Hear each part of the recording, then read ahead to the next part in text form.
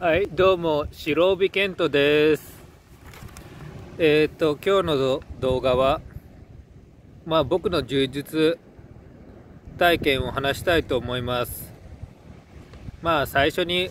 まあなんで充実始めたかというと、まあ総合格闘技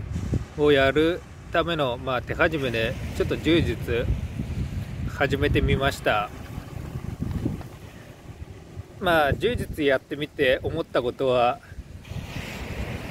まあなんか技がいっぱいあったりとかしてまあすごい混乱してなんか無理やり無理やりやってる感が今すごいありますねなんか技かけるときに。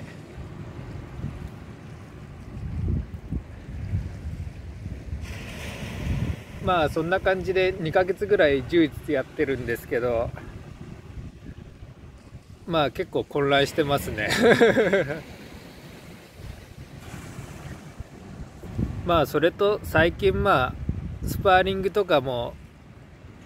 まあやらしてもらってるんですけどまあなんていうかあんまり技覚えてないせいかまあ正直締め技まあ簡単な締め技とかそんなんばっかしかできてなくて、まあ、関節技とか決めたいなっていうのがありますね。まあ腕十字とか三角締めとかそっち系の技を。まあ入門書で見た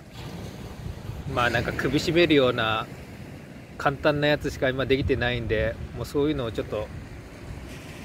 卒業したいなと思いました。まああと柔術やってみてまあちょっと目標みたいなやつもあるんですけどまあちょっと腕十字とか、まあ、三角締めとか、まあ、ちょっとそういう技にまあ焦点を置いて、まあ、スムーズにかけれるようになったりとかまあ、あとタックルもなんかやり方がいまいちわからないんで、まあそういうやつも、まあちょっとちゃんと覚えていきたいなと思いました。まあ、目標をまとめると、まあ一つ一つ技を覚えていった方が自分的には合うのかなって思いました。